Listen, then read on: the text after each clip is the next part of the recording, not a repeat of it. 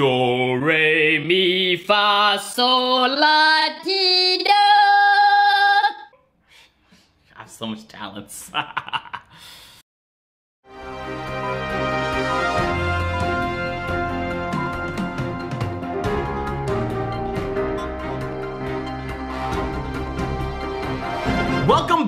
Agent Nation. My name, of course, is Agent Beamstar. Let's get right into the news. Ladies and gentlemen, today is the most action-packed day of news and drama in the NBA 2K community by far, so I'm super excited for this episode. Let's get straight into it. For our first story of the day, ladies and gentlemen, Metacritic has made a huge blunder because they leaked some information about NBA 2K19 I assume by accident, but considering they haven't removed the page, maybe not by accident. Okay, let's go to the website. If you go to the website and you type in NBA 2K19, you can see NBA 2K19 is not out yet, so it doesn't have a score, but it also leaks the fact that a prelude exists. Now, I knew this information already. I was just kind of waiting for someone to talk about it publicly so I could be like, yup, yup, it's true, guys. They're gonna have a prelude.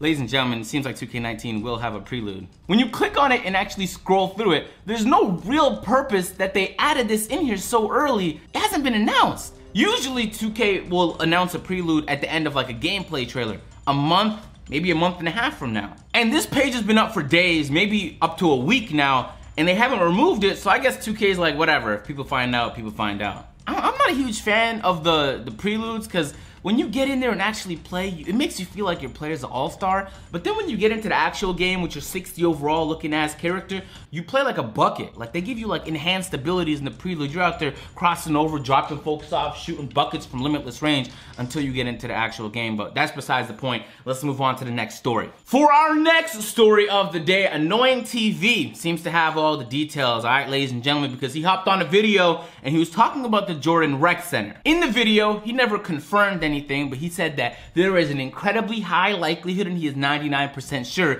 that the Jordan Rec will be making a return to NBA 2K19. Now, personally for me, I don't like the Jordan Rec. It's, it's like 20, 30 minute waits just to get in the game. When they used to have it in 2K, bro, it was hella laggy. I never enjoyed my time there. I always preferred the park, but I know that there's a core audience of 2K fans that was like, I'll give it back. So if uh, these rumors are confirmed, then the Jordan Rec is coming back, and then there's gonna be a, a little subsection the NBA 2K community super gassed up about it until like a month after launch, and they're gonna be like, all right, let's go to regular Pro-Am where the big ballers play.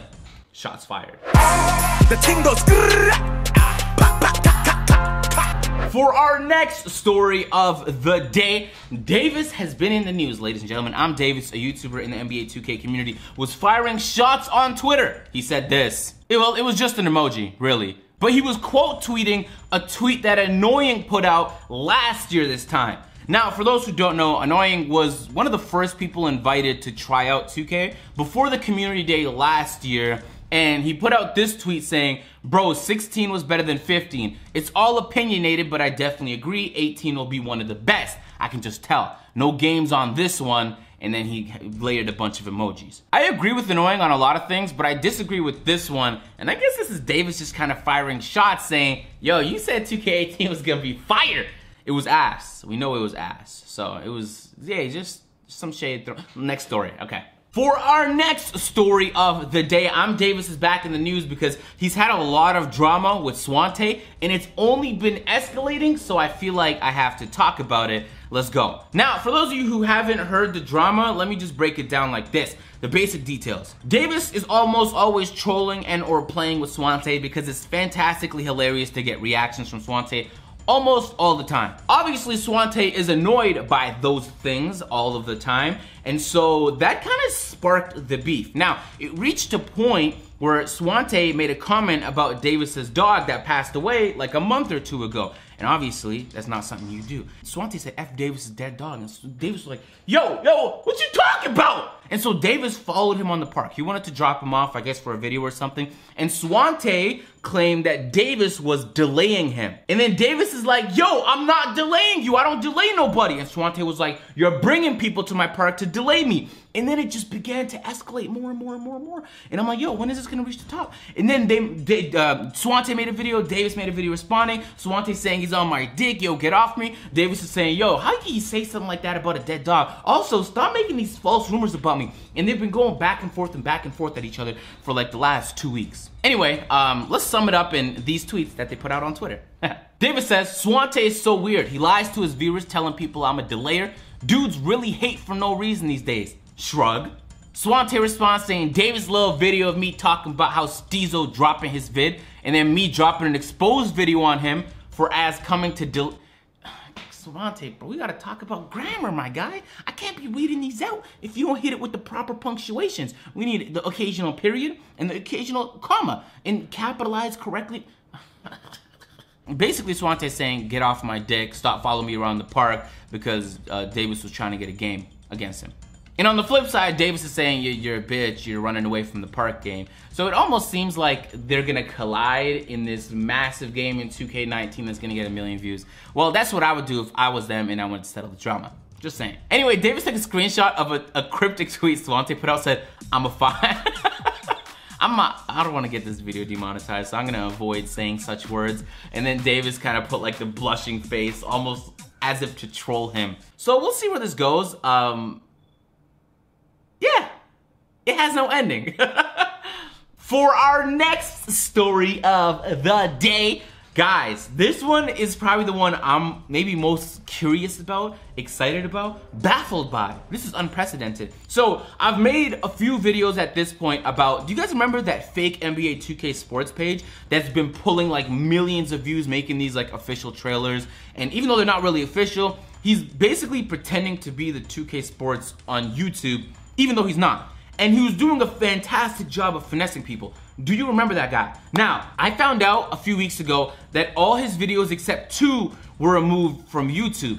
And then I was like, why would he do that? He was basically deceiving hundreds and thousands of millions of people into believing he was the real 2K Sports account. He was putting up 2K18 gameplay saying, yo, this is 2K19. And then people were like, bro, this is the same thing. I'm not buying 2K this year. And I was like, bro, he's really fooling people. Not like Crashy Lion. Crashy Lion would delete comments, and he would finesse people to like his videos to make it seem like it was legit. We knew it wasn't legit. This guy was genuinely convincing plenty of people that real. Long story short, I put my ear to the streets and I heard word back. Now, I don't know how true this is, but it adds up that apparently 2K sent a potential suit in his direction and he was like, yo, I can't take this to court. And then apparently his videos were taken down. But the crazy part about this was 2K didn't take his videos down because if they did, his whole video, his channel will be deleted. Once you take down three videos from a channel, like the whole channel is gone, right? So he must have taken them down himself, almost like a cease and desist. And and and maybe what's more interesting than that, hold up, this gets even better. I'm not gonna lie, bro, I, I lost my train of thought and I felt like if I bridged it with that, Waleed, you can edit it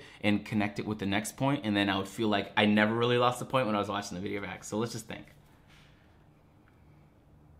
Okay, I found it. This is incredibly interesting because 2K never gets involved with stuff like this. Literally for the last two years, there's been a whole community of individuals faking videos. Whether it's a fake glitch video, pretending like they had 2K early, few months early. 2K never strikes videos down, even if it gives them a negative spin. They almost always just let people do their thing. And then when the news comes out, like everybody will know that that guy was faking it. Long story short, this would be the first time and I think a very long time 2K actually went out of their way to find a person and gun him down for doing something, I guess, illegal, fake, almost deceiving people and giving them a bad name. I guess that's a note to anybody else who wants to try to do the same thing. Probably not. Don't do it. It's probably a bad idea.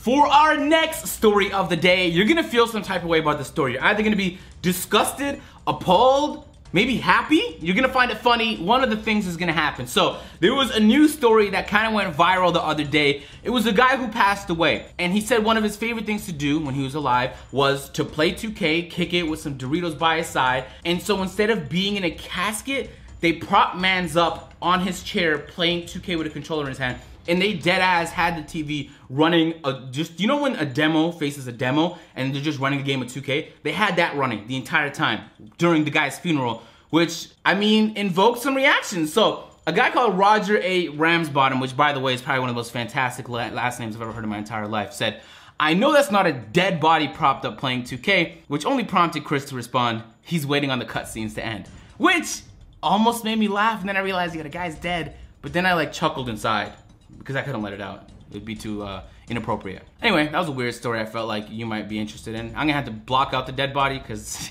it's YouTube. This is not Pornhub or I guess any other news site that has different rules. Actually, why would a dead guy be on Pornhub? I'm just saying Pornhub has no restrictions. That's all I'm saying. I'm not saying that he should be on. He's not doing anything that's relevant to. I I want to do one. What? No, no, no, no. no. Go away. Go. On our next story of the day, Mike Wang put out a tweet. It's not a really relevant tweet, which is why I put it at the very end of this video. But he asked a question on Twitter, put out a poll, and he basically had how many timeouts should be allowed in a pro am game. Honestly, I just clicked a button. I just felt like this was such an irrelevant topic.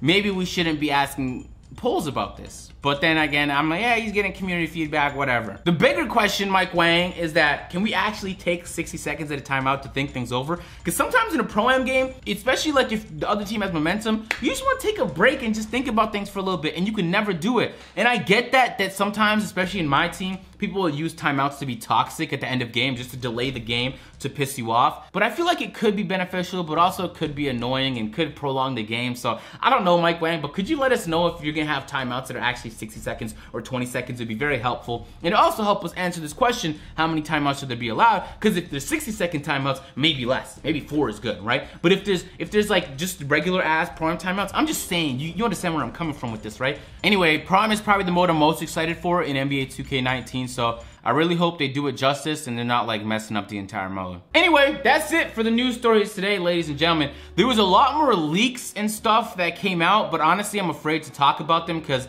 I don't know what 2K is striking down and what they're not striking down. So I'm only talking about topics that I know for a fact won't get my channel shut. But I will say this about the leaks. I've heard a lot of information over the last week from a bunch of different people regarding NBA 2K19. And so sometimes I'll see a leak and I'll be like, okay, I know that's true. But a lot of times I'll see a leak and I'll be like, yo, I know because I have proof that that is not true. And so don't believe every leak you see. So just when you see these leaks, yeah, treat it with a grain of salt, right? Some of these guys could be liars. And some of these leaks have conflicting reports, so it's almost difficult to know what to believe until I guess all the information goes public. I'm just saying, don't believe everything you see. All right, I'm gonna catch you guys in the next fake bootleg drama alert where hopefully I could talk about some of that stuff. I'm gonna catch you guys later. I said that already. All right, peace out. Drop a like. I didn't tell you to do that, but you probably already did it because you're, you're you like me or something.